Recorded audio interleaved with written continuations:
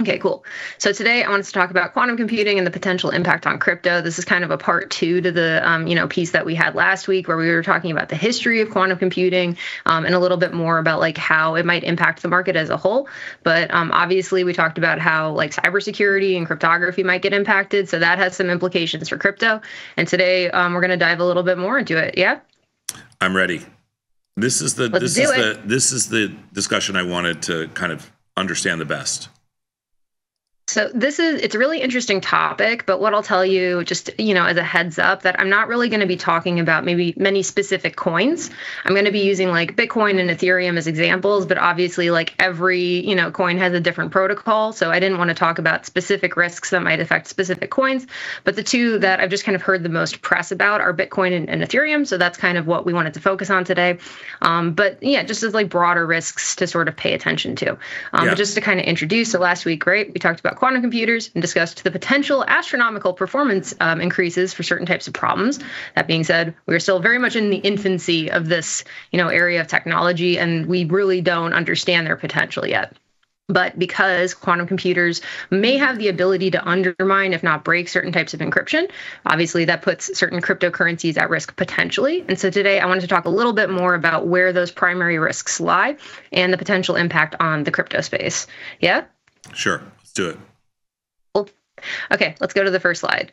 So, a bit about Bitcoin. I'm ready. So, okay. So, We've talked about Bitcoin. Actually, there was a very cool skinny on it, a two part series um, a while back. If anybody wants to go check that out, that dives a little bit more into the cryptography of Bitcoin.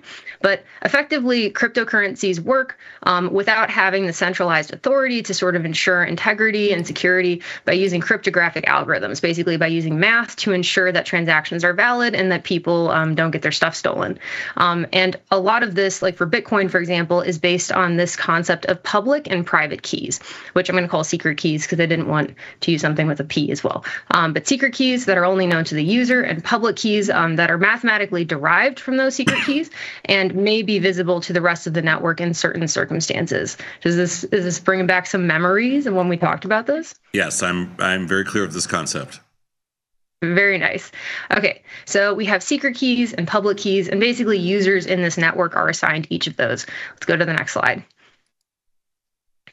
So when a user initiates a transaction, so for example, if Alice wants to send one Bitcoin to Bob, they're going to use their secret key and this sort of transaction message, this information about what transaction they want to execute, and they're going to use a function to generate the sort of digital signature, basically to sign off on it. And this is all happening again within like the Bitcoin um, blockchain, as we've sort of talked about. Make sense? Pretty yeah. easy so far? Yeah. Right. Okay, so let's go to the next slide. So the signature actually has some pretty interesting mathematical properties. Um, so basically, anyone in the network can take the signature, the transaction, and then the user's public key, and then use that to determine that the signature and the transaction message came from the person with that secret key without having to know the key itself. Remember that the secret key and the public key, those are mathematically linked, but we want to keep the secret key hidden from people on the network for security reasons. Um, but because of these interesting mathematical properties, users can verify this signature using public information, right, without having to know that secret information, again, because of that link between the secret key and the public key. And they'll know that conclu- conclusively without having to know the secret key itself. Make sense? So far? Yeah. Yeah, it does, but yeah. now you're starting to get complicated. But yes we're this is hopefully the most complicated that it's going to get. All Good. we need to know is that like this is the basis for these math like these mathematical ra- relationships basically form the basis for how we can execute transactions securely without needing a centralized authority to validate them. Right. we're using these principles of math and these mathematical relationships to basically validate that transactions are valid and that people's like you know holdings are basically valid and secure. Make sense?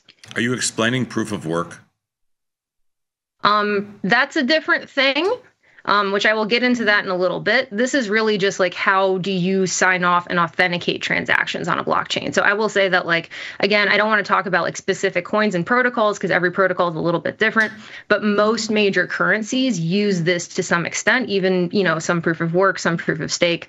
Um, and it's worth digging into a little bit to know which ones um, are, you know, potentially okay, I kind of, I think, um, I think I get this. Yeah. yeah. This is Also used for a lot of like regular financial transactions is the secret key public key pairing, um, and these sort of again mathematical relationships to ensure ensure a certain de- de- degree. Oh my goodness, of validity.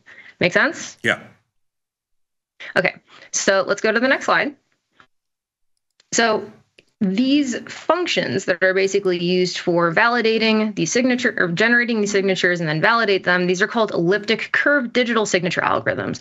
Um, and right there so they're basically used to generate the secret key from the public key. They're used to generate the signatures. They're used to verify the signatures.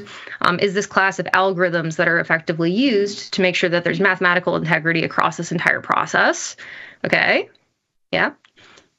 Go to the next slide so these are cryptographic algorithms that are designed to be one way functions. Basically, these algorithms will always produce the same output for a given input. So when I put in the secret key, I'm always going to get the same public key, for example, but they're designed to be computationally infeasible to reverse engineer. If I have the public key, I shouldn't be able to computationally generate, for example, the secret key um, with, you know, like a classical computer. That's where this is kind of going. Make sense? Yes. Okay, so let's go to the next slide.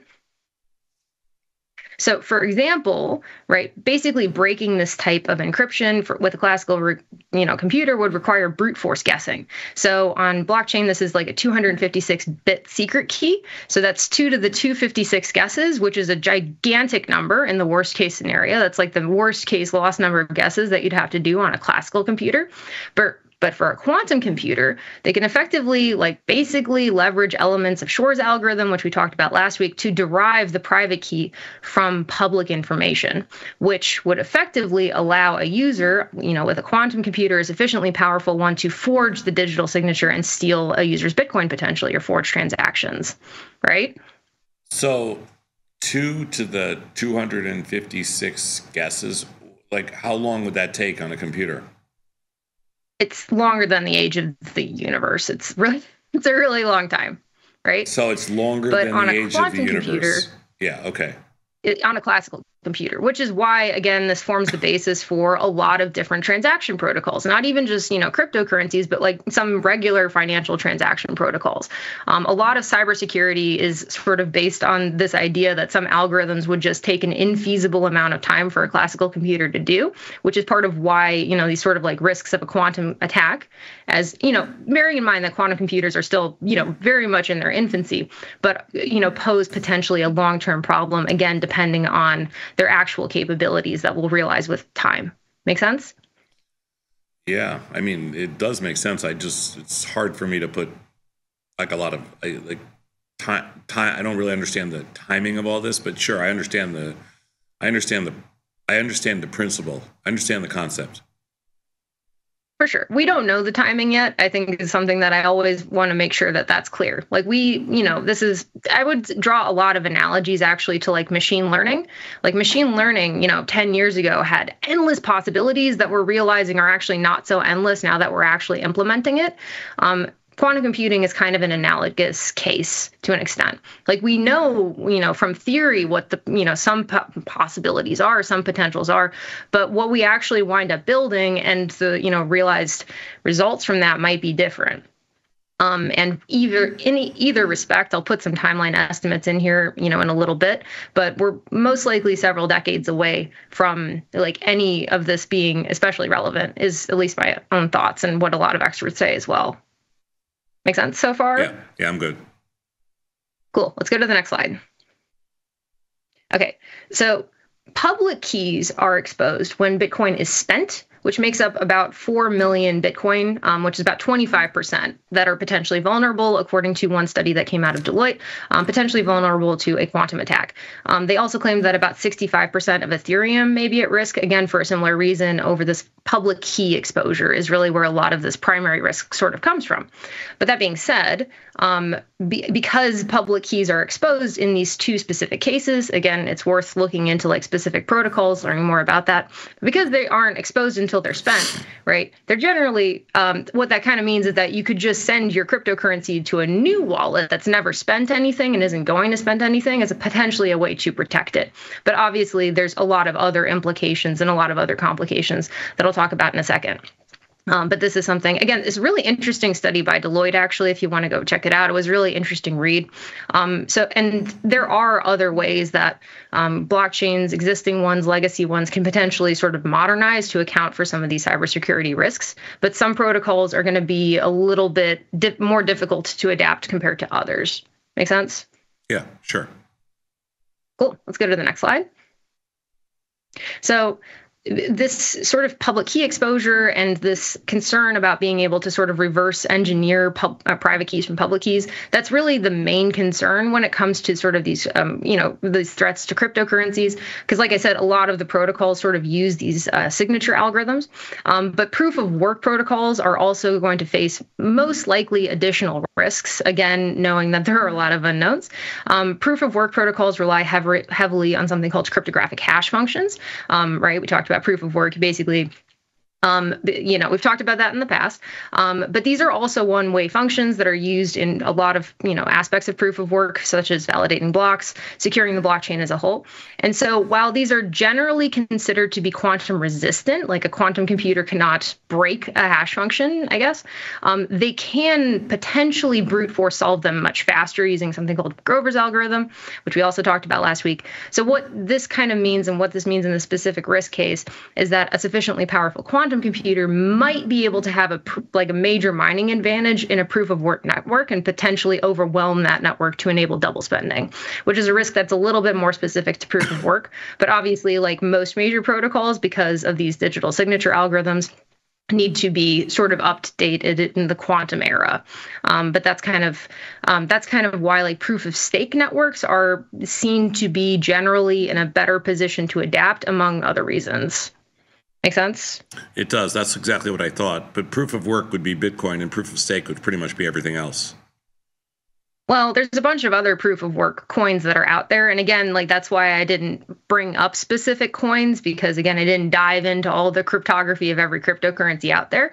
Um, but like for example and i'll you know this is also mentioned on the next slide like ethereum you know transferred or it, it sort of evolved from proof of work into proof of stake. And we saw that big transition happen. So these large scale upgrades of cryptocurrency networks are possible. We have a case point we have a case in point of that.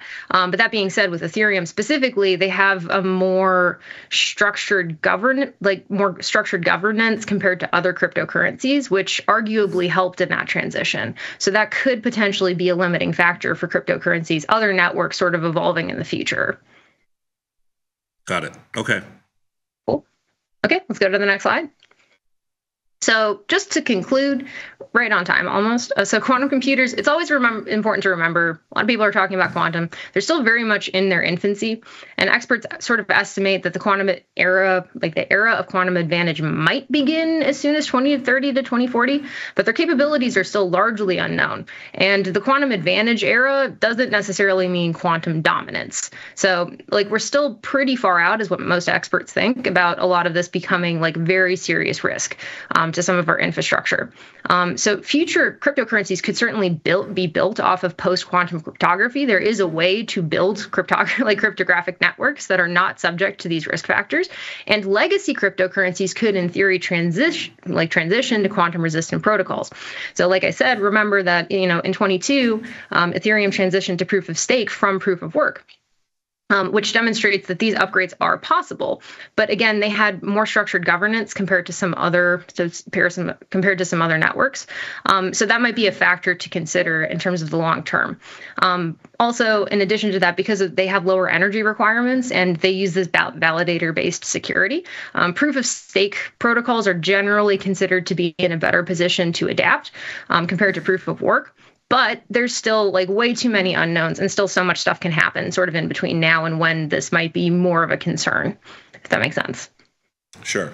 How can any of these quantum computing stocks even be relevant right now? Well there are applications now. Like there are you know it, it's just maybe like a little bit more niche because um, remember, like quantum computers were originally kind of conceived to be able to run quantum simulations, and we have like computers that can sort of handle some of those calculations now um, with you know a smaller number of qubits. But like there are like cloud quantum computing services that are available now.